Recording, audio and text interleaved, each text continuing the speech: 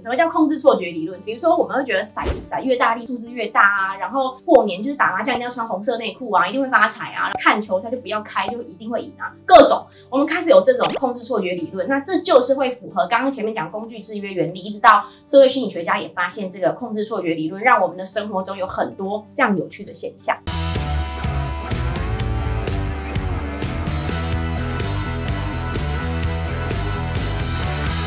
把生活想成诗，让心灵更舒适。欢迎收看 Ariel 聊心事。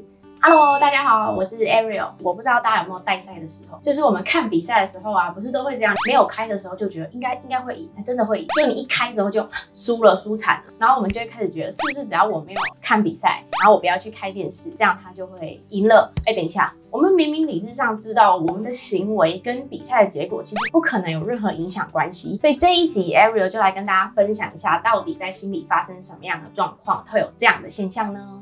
我们看比赛的时候啊，会觉得自己看的时候会输球，原因到底是什么？这个很有趣哦，就是我们人类啊，在生活上最后那个结果跟我们的行为，我们会产生一个连结，我们就会觉得有因果关系。我们行为主义大师他提出了一个工具制约理论，就是他做了一个鸽子的实验。一开始 Skinner 把鸽子放到箱子里面，然后前面让鸽子有一个按钮，只要鸽子去啄一下按钮，然后就会咚咚咚咚咚，食物就会掉下来。然后鸽子就会这样，就是吓死宝宝了，它就开心开心，然后它就赶快吃。鸽子后来就会学会说啊，我啄一下这个按钮，食物就会从天而降。虽然我们也很希望钱会从天而降，但没有。接着他就把鸽子放到神秘箱里面，神秘箱是什么？就是鸽子都不用做什么，鸽子只要就是无所事事。但是呢，每十五秒左右就会噔。从天而降食物，工具制约就是它会把它的行为跟结果做连接，所以鸽子就会开始做一些非常有趣的事，比如说它会开始拍翅膀啊、跺脚啊、晃啊、转圈啊，反正它刚好掉下来那一刹那，它在做什么，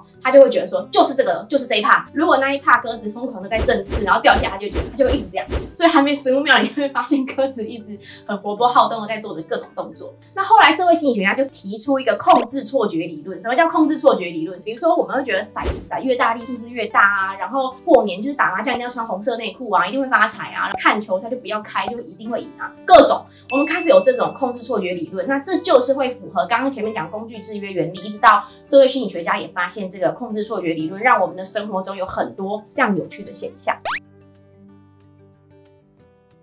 曾经有听过很多朋友分享，什么不洗头就是报道会比较顺利，那我现在不顺遂一定是水逆。这这其实跟鸽子行为是很相似的，因为我们人生活需要控制感。如果很多事情都没有解释原因的话，其实我们人反而会焦虑、会恐慌，甚至对我们心理上其实也是不健康的。那当然你不要迷信哦，就是刚 Ariel 举的那些例子，从此之后你就不洗头了，然后就不顺遂，就说我今天水逆。三百六十五天都在水逆吗？也不是这样子的，就是我们可以适当的去，当我们比较慌张，或是觉得说，哎，这个好像这样做可以让我的工作，或是让我的报告，让我的人生，让我的学业稍微比较顺利一点。那我觉得如果可以这样增加你对自己的自我相信，跟让你当下比较有力量，那我觉得无妨。只要你注意，不要就是极端的让你可能生活，比如说发出怪臭味啊什么的，那其实当然就会更不顺遂。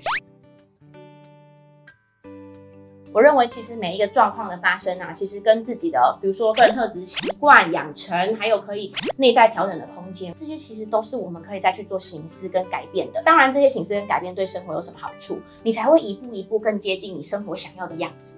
因为外部归因久了，其实你可能发现三年、五年、十年日子都没有改变，永远我们都会想说，这样穿红内裤十几年、二十年，然后什么东西都在水逆，这样也不是办法。这样你的人生某个程度会当下比较好过，但其实会有点像止痛。要我们可以有一些平衡上去做归因，跟自己能够控制的，其实真的也是有限，去做调整。那我想生活其实会越来越接近你想要的样子。那当然啦，球赛还是可以在时间到的时候去看，好不好？就是 这没有关联，所以就支持大家做喜欢做的事，然后可以有一些比例上的调整去做发生事件的内部跟外部归因。那我想生活都会更多元，更接近你想要的样子。那今天就讲到这喽，拜拜。喜欢我们的影片，请按喜欢、订阅并开启小铃铛哦。